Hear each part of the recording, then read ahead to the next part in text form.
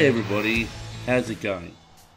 So in the previous video we looked at upgrading an Angular 2 app to Angular 4 and if you remember in that video I was asking is there a new version of the Angular CLI for Angular 4?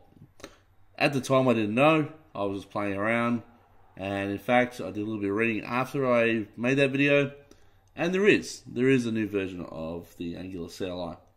So here it is, it's on this page here. And down the bottom, essentially is the npm install command that you need, which is slightly different to the Angular 2 one. So they're using a different one. Now there are there is a prerequisite for this, and the prerequisite is essentially Node 6.9, okay? Together with Node Package Manager 3 or higher, which I happen to have on this computer. So if you haven't got that stuff, you better grab that stuff first before following along in this video. So coming down, literally all I'm going to do is I'm going to open up a command prompt and run this on my Mac computer here. So I created a new folder called Angular 4. Before I do anything, I'm going to literally paste in that command and run it. So we've seen this before. This is pretty standard for npm. So while it's doing that, we'll have a bit of a read of what's going on here. So a lot of the commands are very similar. You've got ngserve. Uh, you can sp still specify a host if you really want to, and a port if you really want to. But ngserve is still enough for my videos anyway.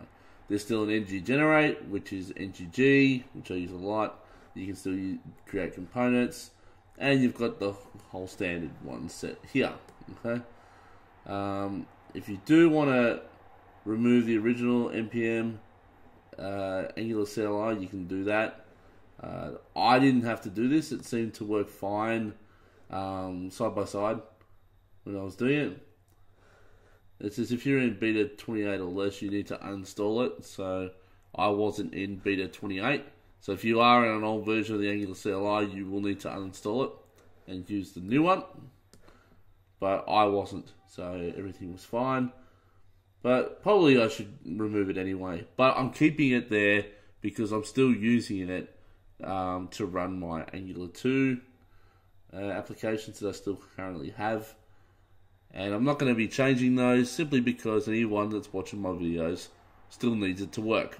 So I'm not going to be upgrading any of my previous uh, solutions to Angular 4. But everything that I'll be doing from this point onwards will be using Angular 4 and the Angular 4 CLI. Okay, so now that I've ran that terminal thing, it seems to be all good now. We don't seem to have any issues like we did with the upgrade, and that's not coming to my house. I promise you that. And we actually, I actually get a, this a lot in this area because I'm on a main road where I am. But yeah, they're not coming to my house. I promise. Anyway, everything seems to be okay here. All the dependencies seem to be loaded. There's no issue so far. So let's give this Angular 4 thing a little bit of a try. So I'm going to just check to make sure I'm in, nothing's in the Angular 4 directory. And I'm going to go ng new and we'll just say trial app. So ng new is creating a new application using the Angular CLI to generate it. So I'm just going to call it trial app. As you can see, it quickly created all the files I needed. Uh, and now it's installing the packages. Now I'm going to quickly jump over to the code here. And I've got the Angular 4 trial. I think that's from a previous video. So I'm just going to close this and reopen it. So close. And we'll reopen the new folder that's been created. This trial app. And I'll open the entire folder because what I want to look at is the package.json. And there you can see Angular Common is version 4, Angular Compile version 4, so on and so forth. They're all version 4 now, except for obviously RxJS, which is still 5, but that's a different library. And there's a few other dependencies that are here as well.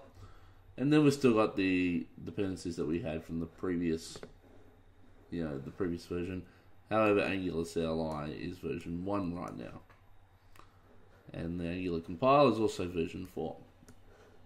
So everything seems to be fine. All we need to do is let all the packages install, which they have now done so. So we'll come in, we'll go ng serve, just like we used to. And I have to be inside the project, I keep forgetting to do that. So cd trial app. And now we'll go ng serve. And just like before, it hosted on port 4200 by default, unless you tell it otherwise, which I don't really care. I'm happy where it is. And as a result, when I go localhost 4200, you've got a default Angular 2 app running in the Angular CLI that's using Angular 4.0. And that's all I'm going to show for this video. Pretty straightforward. I will leave the URL for this document in the description of this video so you guys can follow along and do a little bit of reading yourself. There's obviously more involved here than just installing it, especially if you have to uninstall because you're using a beta version. There's some extra information here that you may need to do. And bottom line is, it was pretty simple to do. Okay, unlike the upgrade, which I had some issues. For you guys, it might have been straightforward. Anyway, I'm going to go. Thank you everybody for listening, and I'll catch you in the next video. Bye for now.